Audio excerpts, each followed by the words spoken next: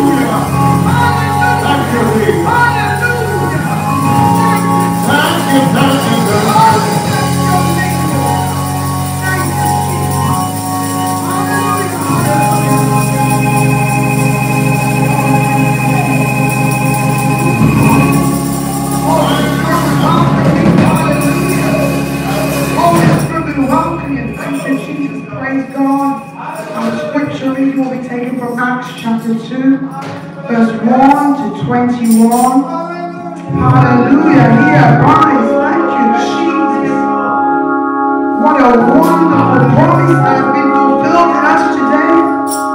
Praise God. He abides. Acts chapter 2, verse 1 and 21. We'll read together. Praise the Lord. Thank you, Jesus. If everyone would stand, please, as soon as we found.